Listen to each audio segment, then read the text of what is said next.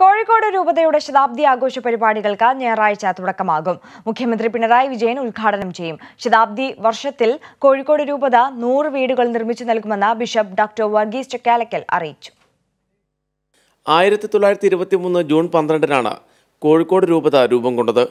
മലബാറിന്റെ വികസന ചരിത്രത്തിൽ സുപ്രധാന പങ്കുവഹിച്ച രൂപതയുടെ ശതാബ്ദി ആഘോഷങ്ങൾ മുഖ്യമന്ത്രി പിണറായി വിജയൻ ഉദ്ഘാടനം ചെയ്യും.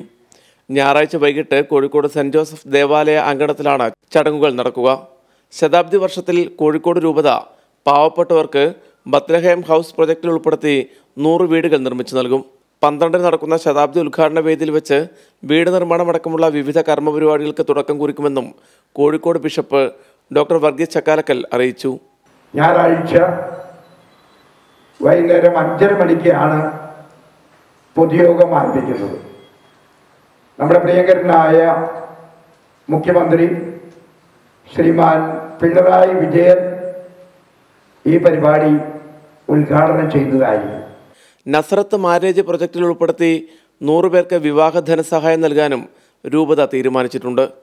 ഉദ്ഘാടന ചടങ്ങിന് മുന്നോടിയായി നടക്കുന്ന കൃതജ്ഞതാ സമൂഹ ദിവ്യബലിക്ക് വരാപ്പുഴ മെത്രോപ്പൊലിത്ത archbishop doctor Joseph Kalathiparambil മുഖ്യ കാർമ്മികത്വം വഹിക്കും. സീറോ മലബാർ സഭ മേജർ ആർച്ച് ബിഷപ്പ് കർദിനാൾ മാർ ജോർജ് ആലഞ്ചേരി വചന സന്ദേശം നൽകും. മന്ത്രി മുഹമ്മദ് റിയാസ് ഉൾപ്പെടെയുള്ള ജനപ്രതിനിധികളും ചടങ്ങിൽ പങ്കെടുക്കും. കൈരളി ന്യൂസ് കോഴിക്കോട്.